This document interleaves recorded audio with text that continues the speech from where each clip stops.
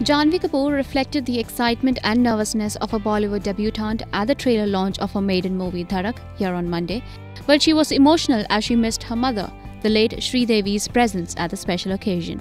Janhvi said, The biggest and I think the most helpful tip that she's given me is to work to work hard and uh, feel every emotion and I think that I've tried to do that. So yeah. The 21 year old was accompanied by her father, producer Boney Kapoor, who has been her constant support after the sudden demise of Sridevi earlier this year in Dubai.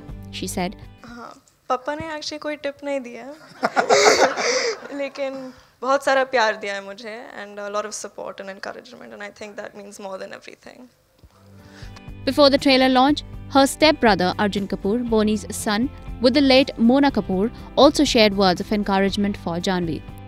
Dhadak is releasing on July 20th.